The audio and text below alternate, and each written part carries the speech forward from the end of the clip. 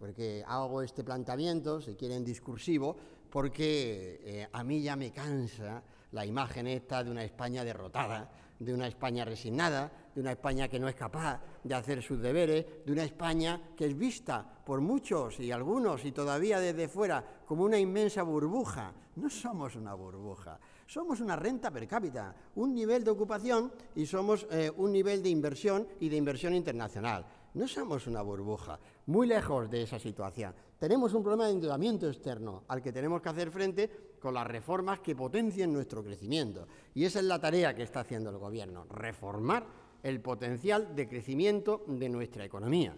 Eh, esas son las reformas estructurales de nuestro país.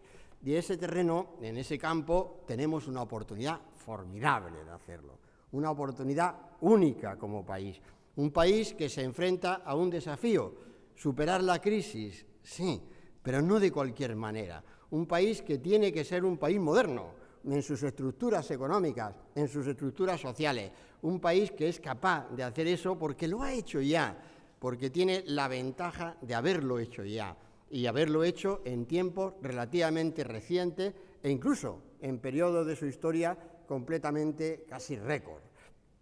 Y esa, eh, esa es la España eh, en la que está trabajando el Gobierno. Y esa es la España de las reformas, reformas estructurales, eh, hechas en poco tiempo. En poco tiempo porque no hay tiempo, de verdad, no hay tiempo. Mejor que no haya tiempo, añado, mejor que no haya tiempo. Vamos a hacer esas reformas en un tiempo récord, exacto. ¿eh? las vamos a hacer mejor así, porque así tendrán un efecto más positivo y cambiarán tantas cosas en la estructura económico-social de España y cambiarán tanto la imagen de España.